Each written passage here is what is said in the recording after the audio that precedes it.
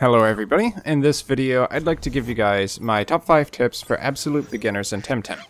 So tip number 1, I recommend that you get a full team of 6 Temtems as soon as you can.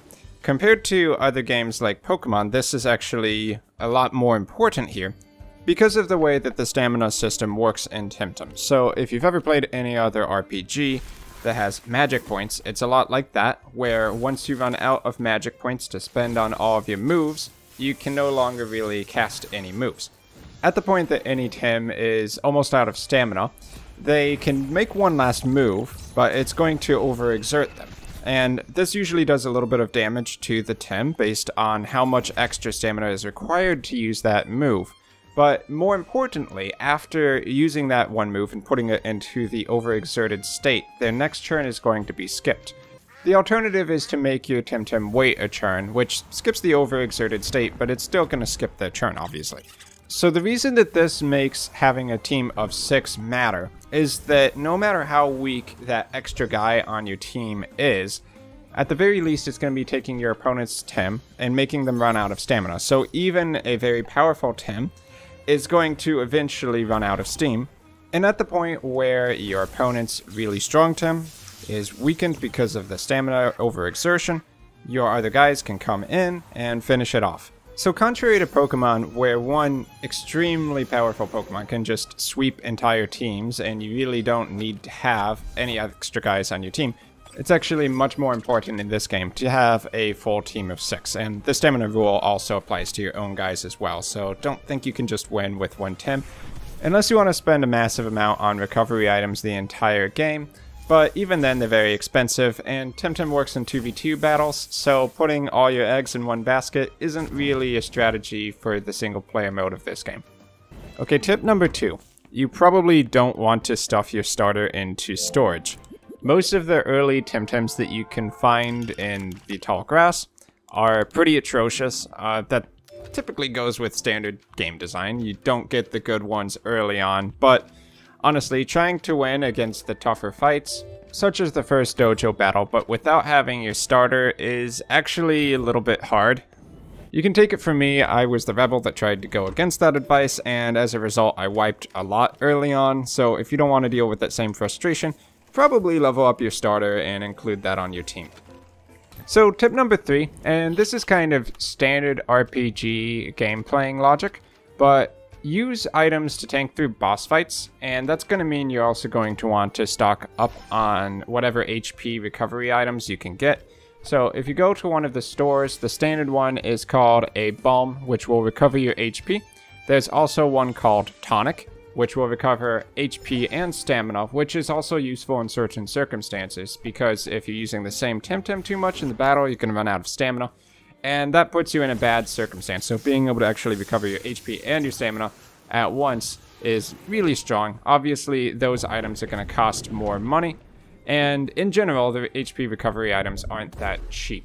So try to be conservative with them, and save them for the really tough battles. You'll know them when you run into them generally the opponents that are going to have six Temtems, like the villains or the dojo leaders, those are going to be the ones that you really need the items for.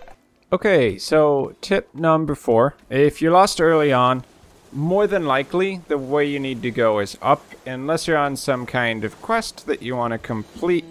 Um, most of the early storyline involves going up past a couple of towns. So just trying to save you a little time with this one, because in Temtem, since it's kind of open world, you can see where other people are going. And of course, depending at where they're at in the storyline, they're going to have access to other routes of uh, traveling around than you are. Uh, if you look at the map, it'll be obvious that there are other ways to go than straight up. But early game, that's pretty much the direction you need to head until you get access to those other forms of travel. You're going to end up seeing a lot of people on surfboards, for instance, and it's cool and you'll probably want one for yourself. But you can't just go into a shop and buy it. It's actually a story reward. So you'll have to keep going in the story in order to get that, and then you'll have access to other things. So hopefully that saves you a little bit of randomly walking around to find a surfboard vendor, because they don't really exist.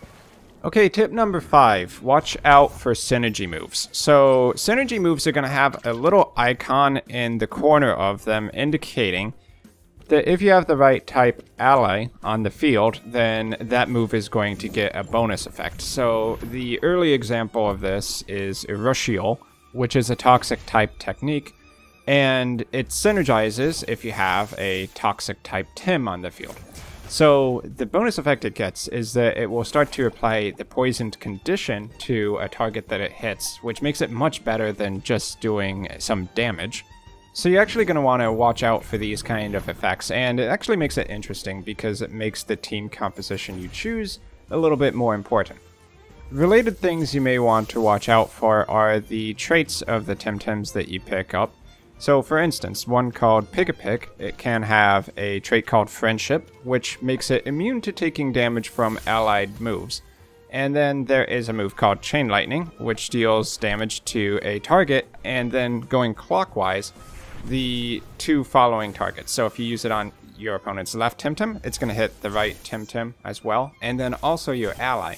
So if you position the Pigepic correctly, then it can take the damage for the Chain Lightning with no drawbacks because the Friendship just makes it immune to it. So in Temtem paying attention to the synergy moves and the specific traits which your Temtems have is going to be relevant, uh, partially because all of the battles are 2v2. So it is a little bit more about the team selection than it is the individual power of a single Temtem. So that's going to be it for my top 5 tips for absolute beginners in Temtem. I hope that this gets anyone who's just starting with the game up to speed a little bit.